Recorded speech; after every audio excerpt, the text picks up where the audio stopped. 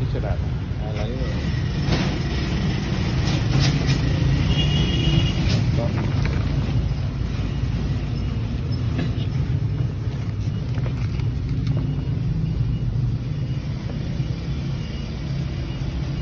gần nha đó là còn cái này là lắp chít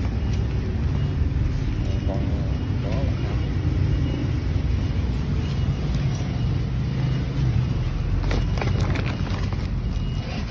đây ship này Renault ha.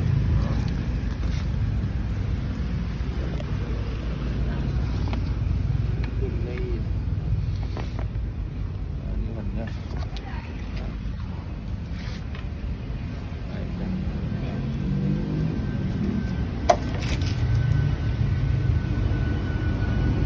Rồi giờ phải